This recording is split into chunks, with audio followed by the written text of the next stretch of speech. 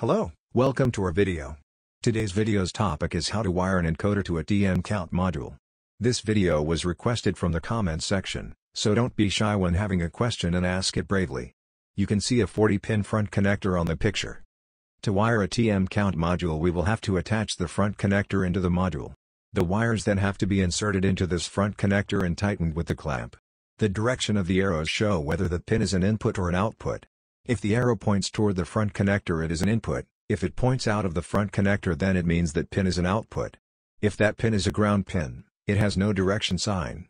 The number of the pins are under the tightening screw for each pin. All the pins that are not connected with an arrow, or a line, are not used by the TM count. Note, before we start the pin layout, that the module needs an external power supply through the external power supply inlet on the bottom of the front connector. This will be also shown in the video.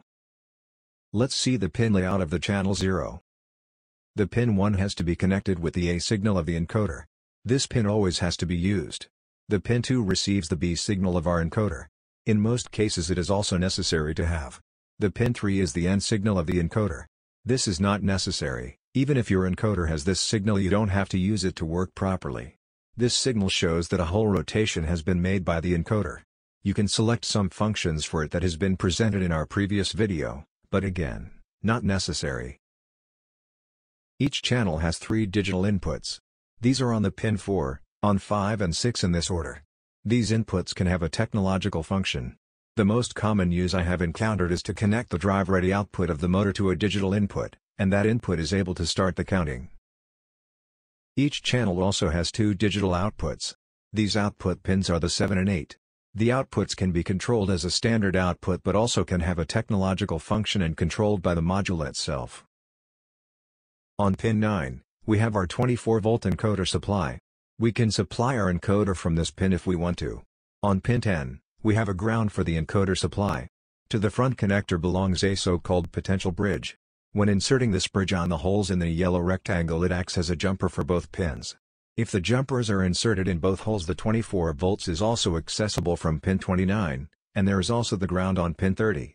It is very handy to use when we are using both channels of the module, because in this case we can supply both of our encoders without pushing two wires in the same pin.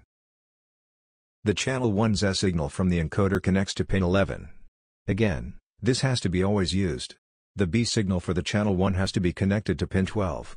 In most cases it is also necessary to have the N signal that is not necessary but can be connected to pin 13, but can be useful in some scenarios. The three digital inputs connect to pin 14, to 15 and 16. These inputs can also have a technological functions. These functions are discussed in the video on the top right corner. The two digital outputs of the channel 1 are on the pin 17 and 18. These outputs can also have a technological function. The other pins, from 19 to 40 are not used by the TM count module. And eventually, the external power supply's 24 volt has to connected to the pin 41 or 42 and the ground has to be connected to either pin 43 or 44. Note that these pins are not inserted to the front connector by default. This was our video on how to wire a 2-channel TM count. If you found it useful, please subscribe and check out our other videos. Thank you, bye bye.